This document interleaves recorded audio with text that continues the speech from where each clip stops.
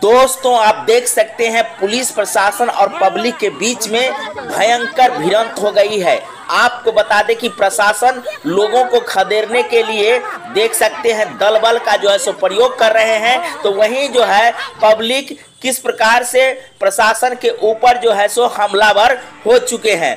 बता दे कि ऐसा परिस्थिति आखिर क्यों हुआ है? इसके पीछे जाने की ज़रूरत है। बता दे कि ये घटना मधुबनी जिला के अंदरा ठारी के मदना पंचायत के धोकरा गाँव की है।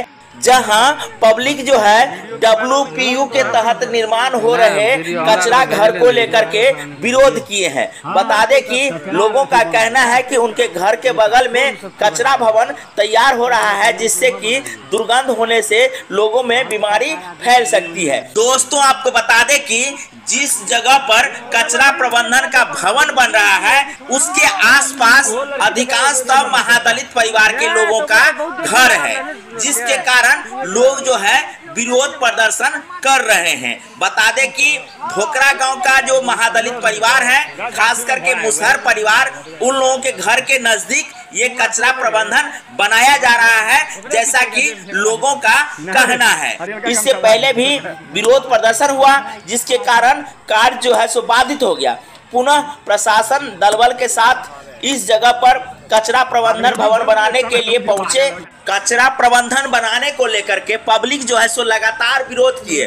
विरोध इस प्रकार से हुआ कि उग्र प्रदर्शन होने लगा। पब्लिक के तरफ़ से जो है विरोध काफ़ी तेज हो गई। विरोध इस प्रकार से हुई कि प्रशासन को लाठी चार्ज करना पड़ा और उसी दरमियान पब्लिक विरोध के रूप में पत्थरबाजी करने लगे। इस प्रकार से ये भिड़ंत जो है सो बहुत भयंकर भिड़ंत के रूप में हो गई जहाँ दो तरफा जो है सो घायल हुए हैं। एक तरफ़ प्रशासन के जो पुलिस कर्मी हैं वो घायल हुए हैं जिनका इलाज अभी चल रहा है तो वहीं पब्लिक के तरफ़ से जिस पर लाठी चार्ज की गई है वो लोग भी घायल हुए हैं, जिनका इलाज अभी चल रहा है। घटना स्थल पर जो भी हुई है, इसकी जो है सो पुख्ता जाँच होनी चाहिए, आखिर ऐसा क्यों हुआ है?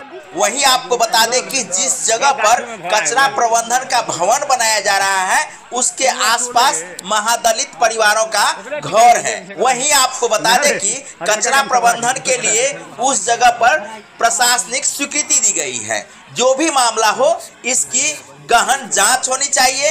यदि कचरा प्रबंधन उन लोगों के घर के आसपास बनती है तो क्या ये जगह जो है सो उचित है? इस पर भी प्रशासन को ध्यान रखने की ज़रूरत है। इस प्रकार की परिस्थिति ना बने इसलिए इस जगह पर जो है सो गहन जाँच होनी चाहिए ताकि जो भी हो वो जो है सही तरीके से कचरा प्रबंधन भी बने और लोगों का जो है विरोध भी ना हो।